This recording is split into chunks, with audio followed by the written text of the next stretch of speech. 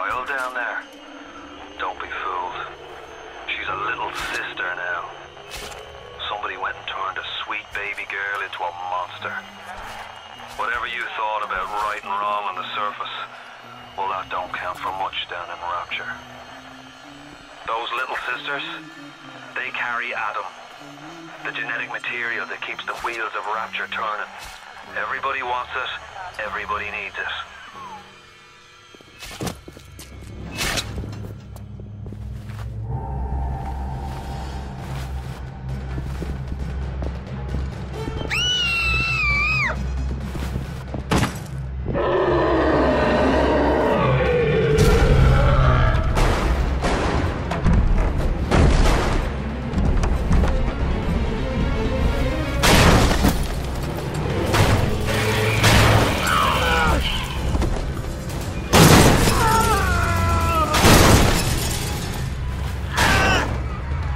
That's the big daddy. She got it out of